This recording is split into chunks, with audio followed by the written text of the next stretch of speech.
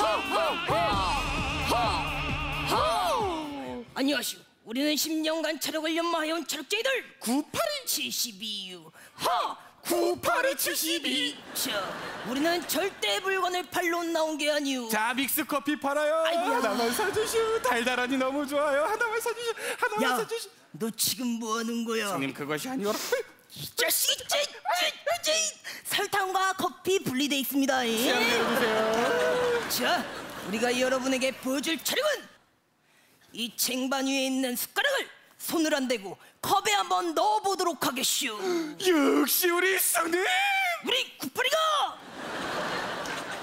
야 성님 지는 못하겠슈 자네야, 너 이거 할래 아니면은 집 청소할래? 집 청소를 하겠슈 그, 어, 야, 그 아니야. 전 못해요 성님 아유, 그렇다면 내가 한번 해보도록 하겠슈.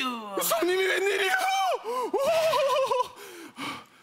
자, 할 수 있슈 성님 떨리는구나.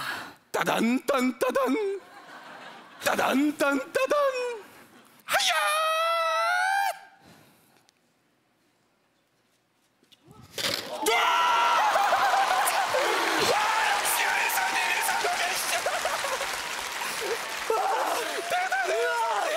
자, 이번에는 난이도를 높여서 열 개를 한번 넣어보도록 하겠슈. 야 아, 역시 우리 성님 대단해요 우리 구파리가 야 성님 다섯 개도 있는데 열 개를 어떻게 해요 진 못해요 야, 너 숟가락 넣을래 아니면은 너 숟가락만 들고 나한테 장가 올래? 그렇다면 쥐가 한번 해보겠슈 그래 그래. 자, 떠던 딴 떠던 떠던 딴 떠던. 아야, 찌!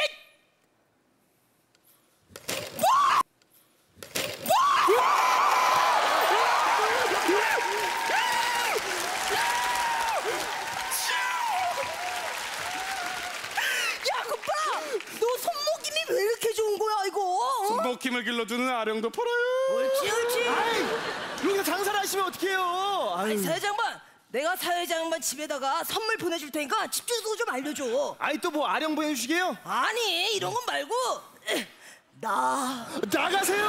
사실 분들은 무대 뒤로 오시